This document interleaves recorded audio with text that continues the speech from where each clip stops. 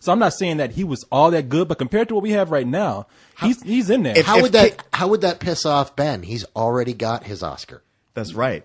If- if- Screenwriting. for writing. If, if somebody puts an Oscar in Casey Affleck's hand, it better have chocolate inside of it. yeah, right. No, see, the thing is, is that is like I think um, for psycho Christians, that's the seventh seal. That once you give Casey Affleck that Oscar, the skies open up I know, it dude, rains yeah, blood. frogs are gonna rain down if he gets an Oscar. But I, you know what? I'm with Korey on this though. He deserves a nomination. Yeah, I didn't say he should win, but I think he should get a nod for that. Nobody really should good. nobody should get nominated unless they should win. Y'all, y'all are always like, well, he should get a nomination. He shouldn't win, but they should like tell him he, I think he- that- he's going to win. Well, I think that there's going to be better performances coming out, but right now, as of right now, he's one of the best performances I've seen this year, and there's not too many other performances I can say that about. I just, I just, you know, while I see what Carlos coming from with the, you know, this is the role of a lifetime for this guy, and that's true. So was Bill in Bill and Ted's Excellent Adventure for Keanu Reeves. That was Yeah. the role he was born to play, but I don't think he should have gotten an Oscar for it.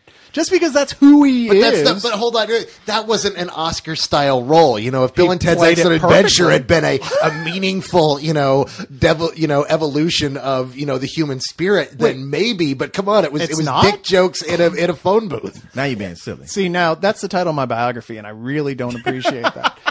I just maybe I just connected with uh, Casey Affleck because I love that Looney Tunes cartoon with that little dog and that big dog. Hey Spike, what we gonna do today? Hey Spike, what, let's go do something today. And like that's how Casey Affleck was. Hey, what, hey Jesse, what we gonna do today? Hey Jesse, who we gonna shoot today? Hey Jesse, what bank we gonna rob? It's like you know I was waiting for like uh, uh I was waiting for what's it Brad uh, Brad, I was waiting on Brad Pitt turn around and smack, just shut the fuck up. Well, that's the, there's that great scene right at the beginning of the movie when you've got uh, what uh, Sam Shepard. Sam Shepard, and and Oh, he's just Sam like, Shepard? yeah, Yeah. Sam Shepard. He's he's Jesse, James. He's Frank James, Jesse oh. James' brother, and he's just like, boy, you're you're creeping me out. I'd, I'd like it if you go away. He's how I felt about that character the whole film, but in a way that it just wasn't fun watching him. I was like, dude, will he please? Can't someone else assume his identity? you know, isn't there some other less annoying actor who can kill him and pretend to be him and then assassinate Jesse James? But I, I do have to say though, I, I I'm fully in understanding why Cyrus doesn't like this, and this is a movie that I can't recommend to everybody. This is a movie that you have to know what you're getting involved with. That you you're walking into an almost three hour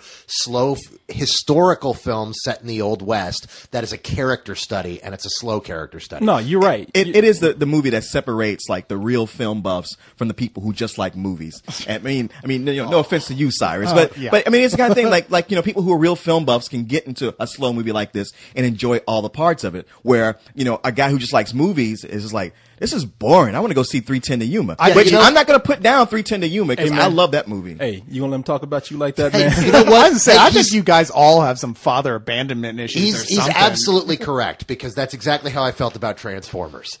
Oh. You know, the, the thing is, like, Westerns are all, most of the time are about honor. I mean, like, 310 to Yuma is all about honor. And this movie was in the reverse way, where it was about, you know, the lack of honor and then the price you have to pay for that.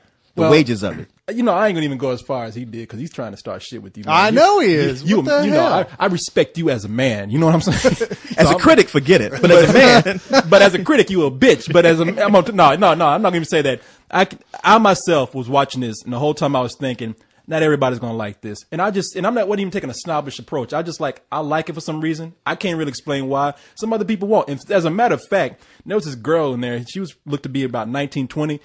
Like right when the movie stopped, she just got up and proclaimed to the theater, "That was the most boring movie I seen all year." And I said, "Shut your goddamn ass down." Did bitch." you say that? No, I did. I wish I had. Uh, so No. see, Cyrus, you're just like Yeah, a 19 because year old girl he that knows that nothing later. about movies. Wait, say again? So see, Cyrus, you're just like a 19 year old girl that knows nothing about movies. Man, you gonna let keep you gonna let him keep capping on you like Well, that, man? He is because you know both of them went home with Korey after the movie. Oh, Wow, man, That was a long way. For I know. that shit.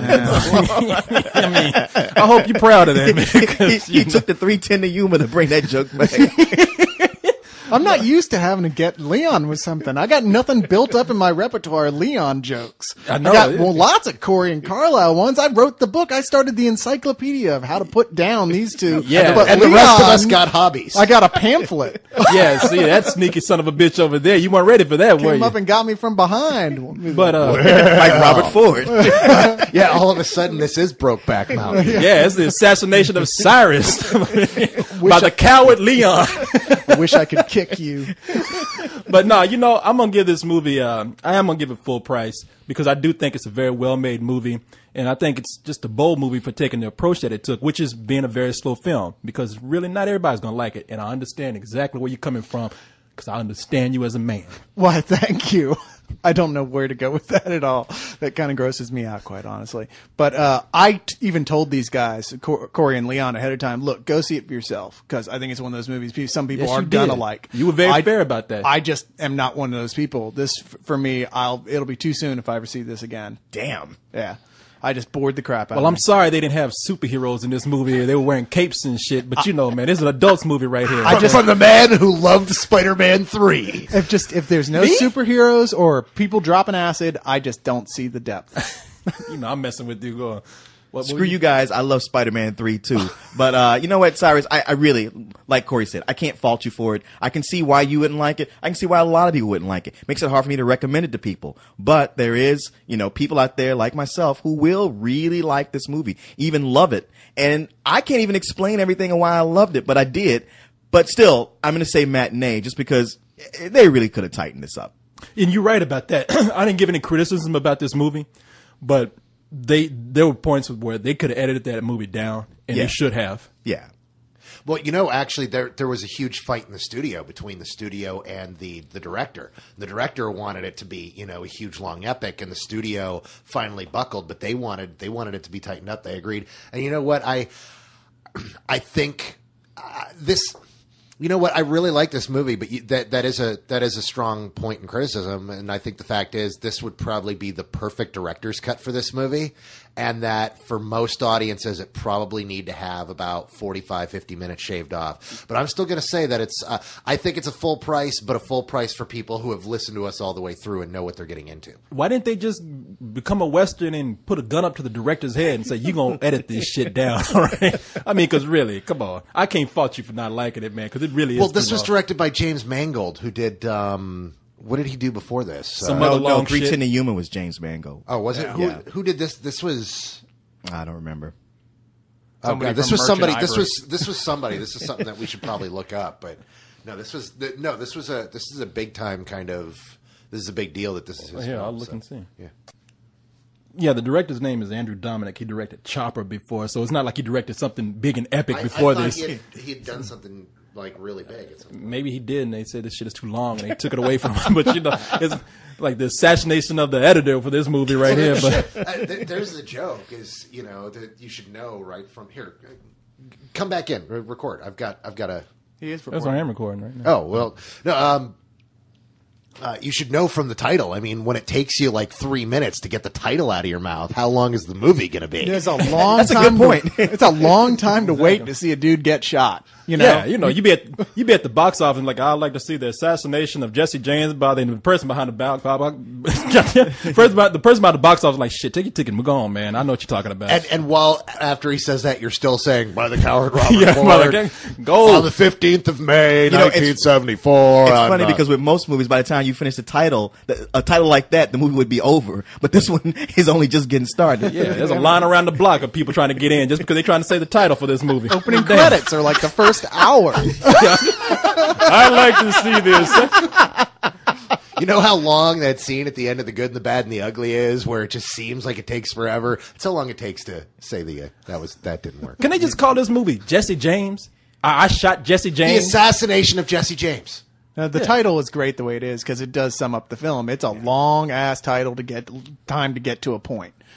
All right. But it does show you. I mean, the, the, that long title makes you know that like the focus is not Jesse James; it's Robert Ford.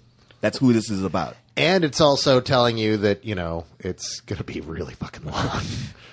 I not not that we need to record this, but wasn't it funny how like like the two guys could like shoot at each other and they were like this close and couldn't Yeah, hit. right, they couldn't hit shit. It was and yet like- Robert Ford could be across the room anywhere. Just, It was like he was Police Squad. Yeah, it was police squad. Like, That's funny. There- yeah, there's a scene in this movie where there's a shootout, and I think it's the coolest shootout I've ever seen because these sons of bitches are like three feet away from each other, and they're like blind people in a, in a gunfight. They can't hit shit. I know you hit a horse outside. yeah, yeah. You hear that cat when he, you know, You know, pow, yeah. You sit like, come on, are y'all fucking Ray Charles and Stevie Wonder shit? It's like that scene in Pulp Fiction where the guy comes out of the bathroom and just yeah, it just You're, you're misses just waiting at the end for somebody to go. You know that was divine intervention, motherfucker. You know, as clumsy as these guys are with guns, it should be more like the assassination of Jesse James by the coward Gerald Ford. the assassination of Jesse James by the the klutzy Robert Ford. the accidental assassination of Jesse James. oh, the gun went off. They should have called this shit the assassination of Jesse James by the Ford Pinto. He should have just drove up and, and ran over that motherfucker. Okay, now we've gotten silly. oh, well, yeah, like we weren't before. but anyway, all right. Well, it is funny when they kill damn him. it. Well, no, I'm just, I mean, it wouldn't be funny on there, but